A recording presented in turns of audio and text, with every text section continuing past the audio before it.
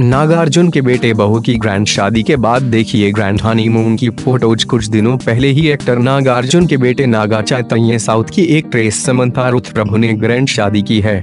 इस कपल ने हिंदू धर्म के साथ साथ क्रिश्चियन तरीके से भी शादी की थी। इस समय ये कपल हनीमून पर गए हुए है, जहाँ से बेहद ही खूबसूरत समंथा ने अपने हनीमून की कुछ फ़ोटो शेयर की है।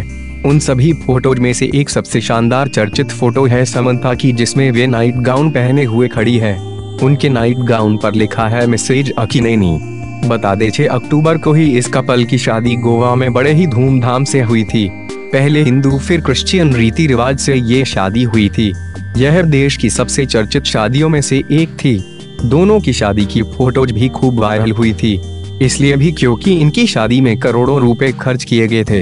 दोनों की पहली मुलाकात साल 2009 में ये माया चे साहब के सेट पर हुई थी। दोनों ने फिर काफ़ी समय तक एक दूसरे को डेट किया, फिर उन्होंने शादी का फैसला ले लिया सुनने में आया है कि समंथा जैसी लड़की को अपनी बहू के रूप में पाकर सुपरस्टार नागार्जुन भी काफ़ी खुश हैं। बताया जा रहा है कि हनीमून से लौटने के बाद समान्था शिव कार्तिकेयन की आने वाली फ़िल्म की शूटिंग शुरू करेंगी